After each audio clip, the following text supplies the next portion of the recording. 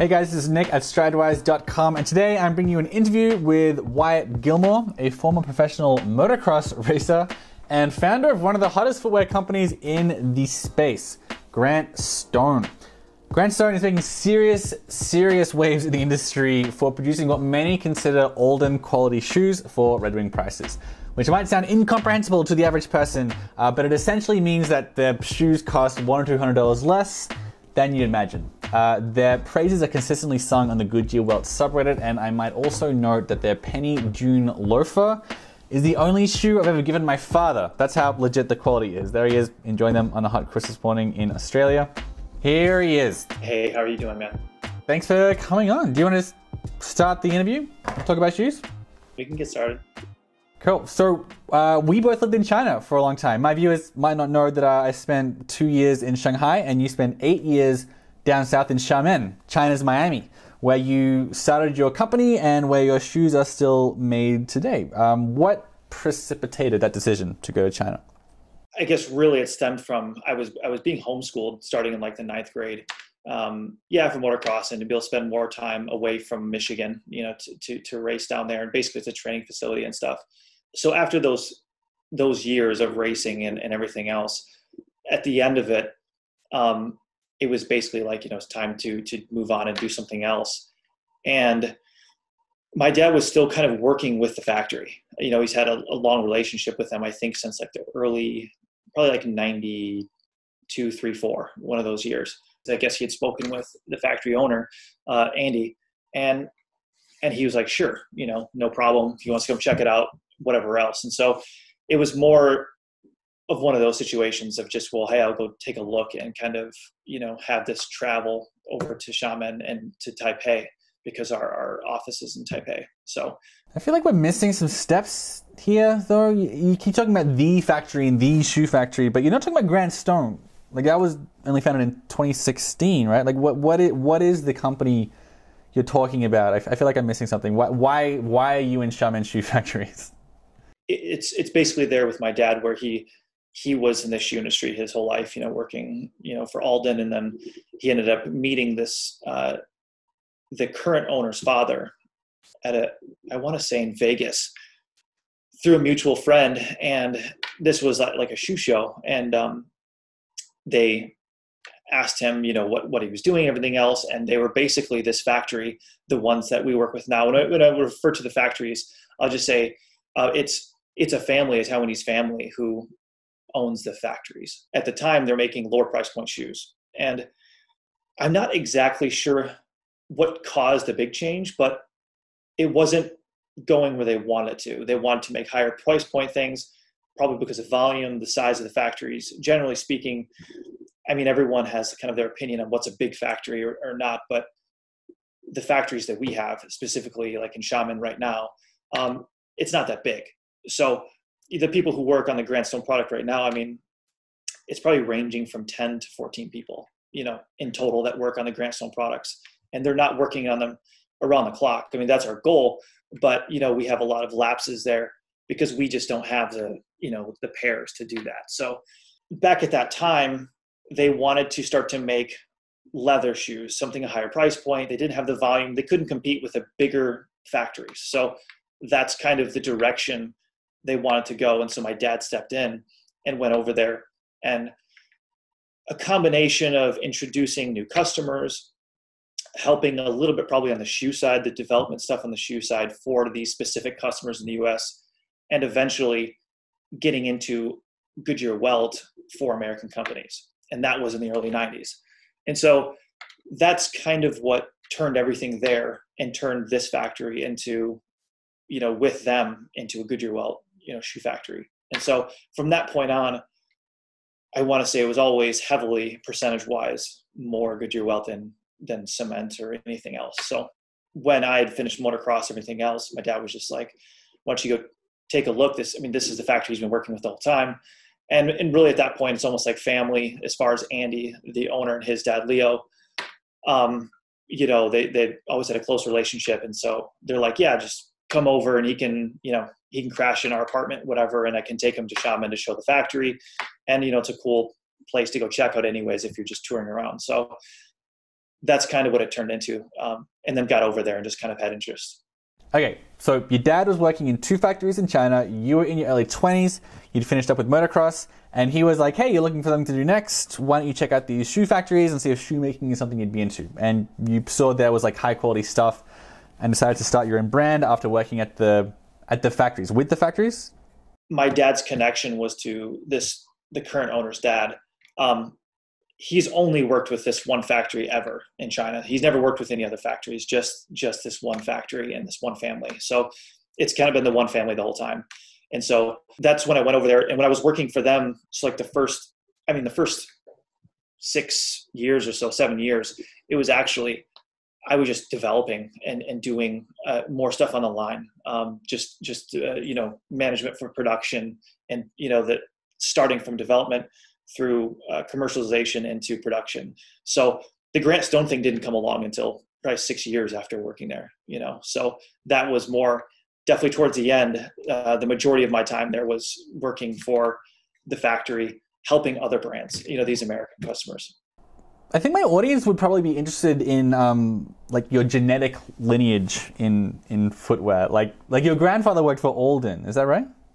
Yeah, yeah, he was he was there for 60 i want to say just over 60 years. I, mean, I don't know if it's 61 62 but it's over 60 years. And grant stone is the name of someone who worked with him right? Yep grant stone was also an alden shoe salesman. Very cool. So you were just like growing up hearing about shoes and goodyear welts your entire life yeah yeah and my dad i mean he worked at alden as a, as a salesman in the midwest that's how we ended up here in michigan um, he met my mom here when he was a salesman um, for Alden over here in the Midwest, and so he ended up settling down here. Um, you know, so he, he did that for probably 15 years or something uh, with with Alden. Was it always fated for you to go into footwear? Like, were you like three years old and being told one day, son, you're going to be picking out welts from Kentucky? Not really. My dad was, he never really talked about it that much. Um, my grandpa did, you know, he was like, Alden like was his life. He loved the people there. He loved his customers. His his retailers were his best friends, and so like what for him it was 100. percent Like he was the shoe guy. I imagine that once you were competing in motocross, he was like, "All right, this kid is definitely not going to go into shoemaking," and then he just wound up doing an about face and going right into shoemaking from the motocross. Didn't didn't cut it doing that for a career. So uh, at that point, I was still young enough, like I could go to school or something. And so before making that final decision, that's kind of when I went over there to to check it out and ended up, you know, not not going to school. I didn't go to college or anything like that. Great. So um, um, this is a question that I imagine you have to answer like 50 times every day, uh, and I'm very apologetic because you know you've been asked this so many times and it's must be very boring for you. But just because people always ask it, uh, how do you respond to customers who like your boots and then they hear they're made in China and then they dismiss them? Like I don't, I don't want anything made in China. Yeah, I mean that's a really tough one because obviously we think about it a lot because it's it's probably the number one hurdle we always have you know which i never anticipated that being the issue until recently it's just blatantly obvious we realized i mean that's just going to be the you know the number one hurdle we have every single day especially when it comes to i mean growing or doing more pairs i mean we're shipping five, ten pair a day. I mean, it's it's a very very small operation. There's three of us in here. You know, myself, Josh, and, and Parker, who are you know next door, um, in, in the same office here. And so it's like, you know, anything we do, it, it turns into that. I mean, and my answer is it depends on where it is. If it's an Instagram or Facebook comment or something like that, it, it gets into politics, and it's kind of like, well, how do you change, you know, a Republican to a Democrat or Democrat to a Republican? It's like you you kind of like stay away from that because it's just it's so much more than that you know it's it's what's their experience? Have they traveled there? Who do they know that's from this country? What's their news saying? I mean we're basically i mean china this year is is the one of the number one talking points in our country as being number one you know we should be opposed to it to the nth degree. So it's kind of like to be okay with it and open with it would almost be strange, you know, because we're everything is leaning towards it's it's bad. You know, spent time there, the people there in general are great people, and the culture is amazing as far as people as a whole. You know, the culture is amazing uh, in the factory. Same thing. You've got people working there for 10, 15 years. It's a completely different culture. Um, but it's great in a lot of ways. And so it's just like when it comes to quality and product, I guess my only like easy way to kind of sum it up quickly is like, you know, when Phil Knight went there in, I don't know, 1980, you know, he's looking to transfer, you know, production from Japan and, and Taiwan to China. Why did he do that? There's a labor pool in China. You know, why did China get what what is part of the reasons China gained access to all of this manufacturing and all these contracts from Americans, they have a labor pool and they're good at manufacturing. But if you have a product in your brand and you're making a lot of a brand and you're making it, let's say you have a few different products and they're different price points. If today I'm starting a new shoe brand, let's say it's sneakers and they're high end, but I have to manufacture in a few different areas. If I'm making a $500 sneaker, I'm probably going to manufacture that one in Italy, right? And then, you know, maybe a $300 or $200 one in Mexico, and then the $150 price point, let's put it in China. And I think that's just, that's always kind of been that way. You know, it's not like you want to produce a bad product to go to China. It's, are you looking at volume? What's your price point? what materials you're going into it. So, and we see that we see that with customers before Grant Stone started and everything else. I mean, it's a very very clear idea. And so, in our situation, it just so happens to be our factory is a little bit smaller and made a decision to do make Goodyear shoes, you know, 25 years ago.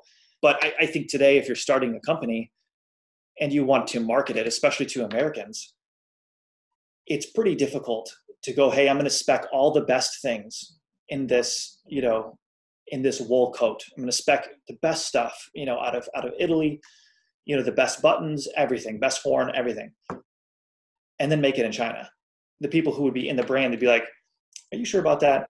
Like, even if the quality is good, what are we doing here? What, what's our marketing plan? What are we doing here? You know, we could mark it up, whatever else, make the same product in another country that has a much better sound to it and no stigma, even if it's 25% more, you know, same product, would that not be a better option here? Um, and also, you know, how many suppliers in China make very top, you know, high end top coats that are small quantity? So I think it's just a natural progression of people have gone there to produce volume. They so manufacturers, these plants, everything they've been made and designed to to do volume and so volume in general is usually not handmade quality products and things like that but there's exceptions right? Whether it's electronics or whatever. So i, I and i think anyone knows that like yeah chinese can you know chinese factories can make very very good things as well. But i think it's beside their point. It's like well i don't like china. And you know you, most of their stuff isn't high end so uh, last time I bought something made in China that I paid a lot of money for, or whatever, you know. So it's it's a. I think the only thing we can do is just be in it long enough and not make mistakes with quality and and what we do. I mean, that's the only real thing that seemed to work so far.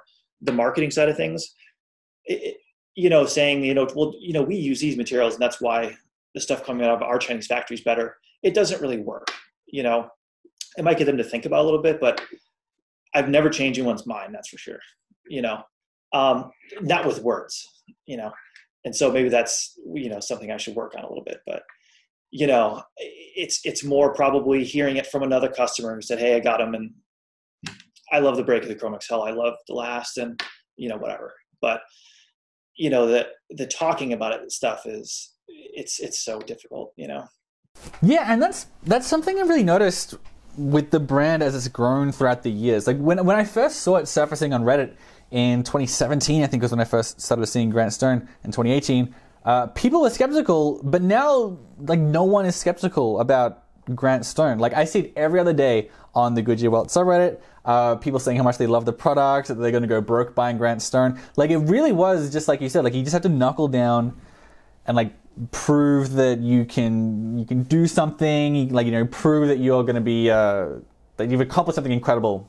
You know, like you've done something really, really impressive here with what you've got, and you ha- you just have a product that like destroys skepticism, you know. And that's not to blow smoke up your butt. It's just like you've you've accomplished something undeniable. I think like like no one who's handled your shoes has been unimpressed with the quality, right? Especially if made in China, but even if for not made in China.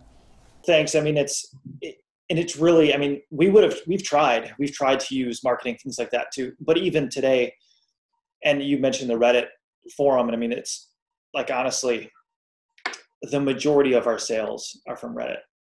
Like hands down. So we're definitely in that that little niche market. But but the boots are actually very American, right? Like like I saw a, a boot where the leather sole was from Keystone, Pennsylvania. The welt was from Massachusetts. The upper was from Horween in Chicago. The lining was from Milwaukee.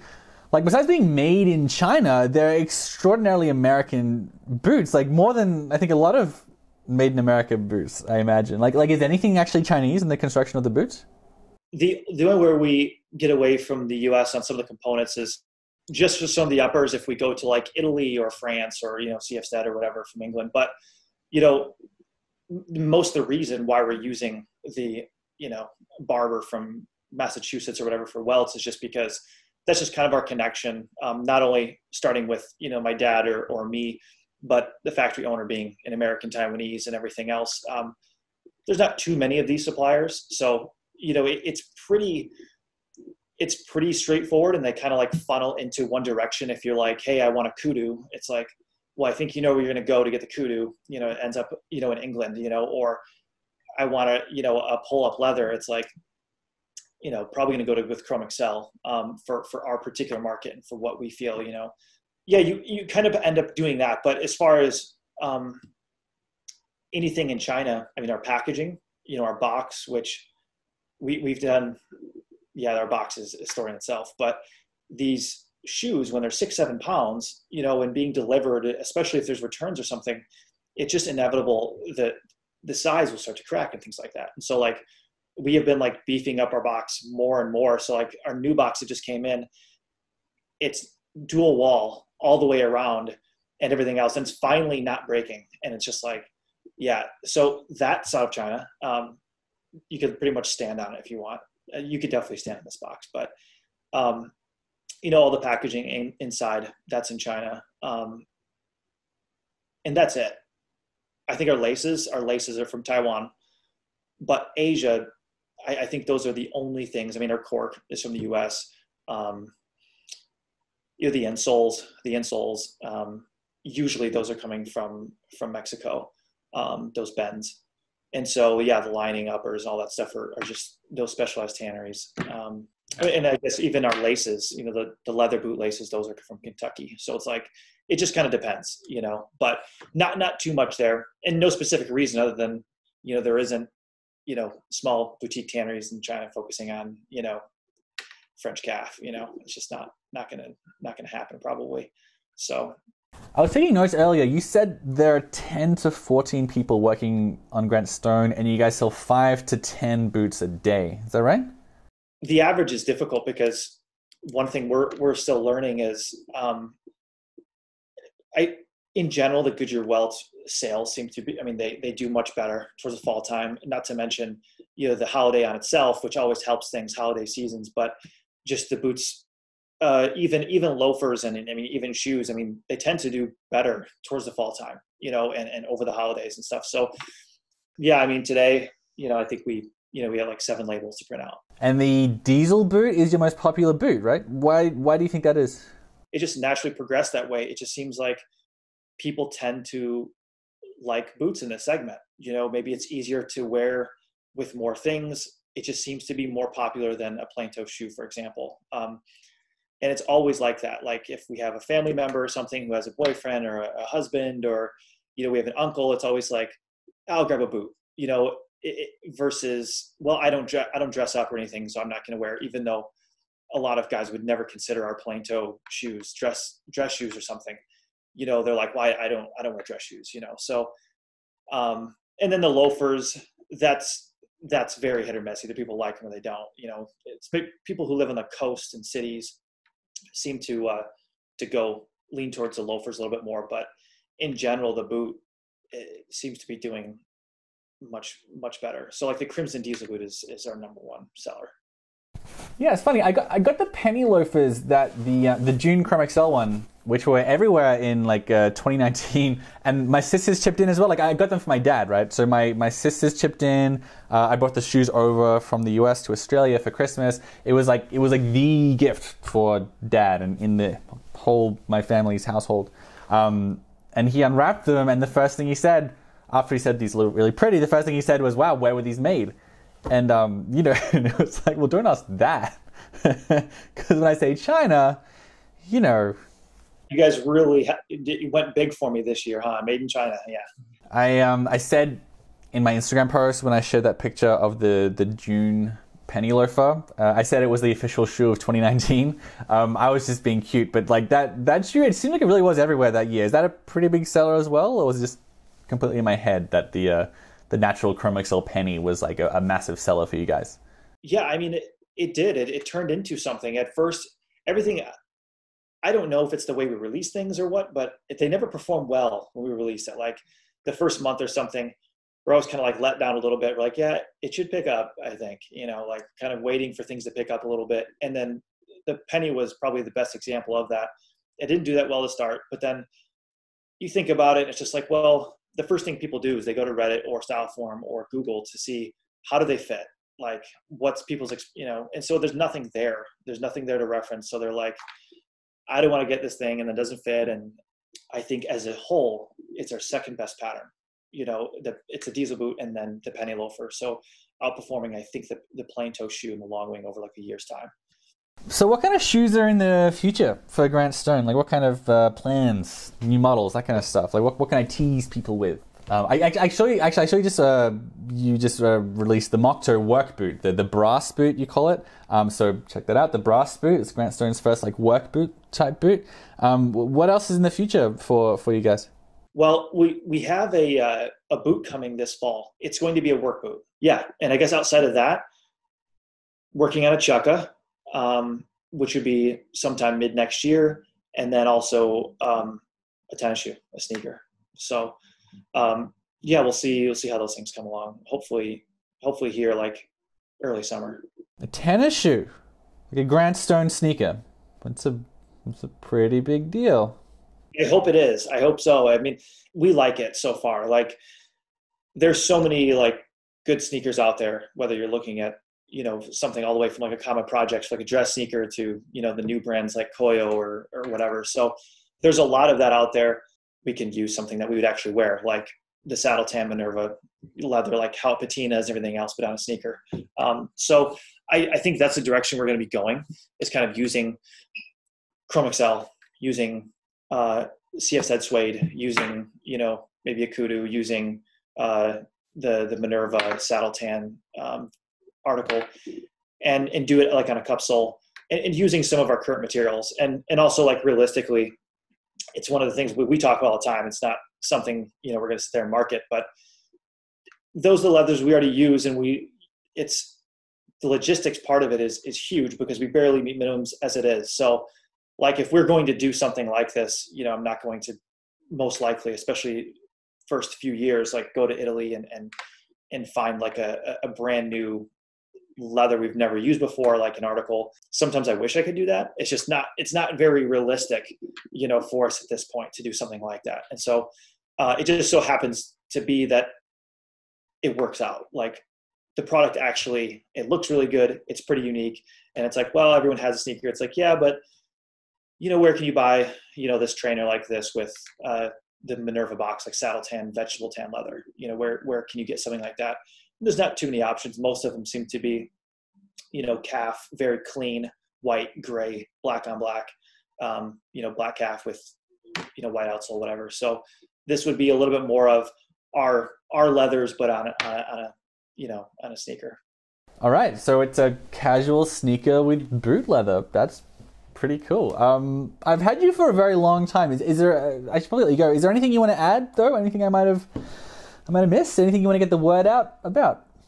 I guess the only thing we're kind of looking to do is I know sometimes a lot of our customers they tend to be people who are, are, are looking for E and triple E widths and stuff, and so we get a lot of questions about the narrow and everything. But yeah, I mean that's the only thing we're trying to do a little bit more of here in the next couple years is, is try to get into those wits and the, and the styles that we currently don't. So hopefully that that's kind of the goal long term is to kind of have everything that we offer, you know, in, in multiple wits. Um, and so something like a sneaker, it's going to be like, unfortunately, it'll be an average start. But if if it works out and everything, without a doubt, it's like okay, we're gonna we're gonna move into wits, you know, and get those last and, and do all that stuff. So that's kind of the goal. Um, and so we, we try to talk about that a little bit because it's a total pain to have wits and everything else. So it's like if, if we're going to do it, you know, we should make sure that uh, we do it right. And um, once we get a better idea of, of how it's moving, then we can kind of estimate, you know, how many pairs of like widths we can buy and all that stuff.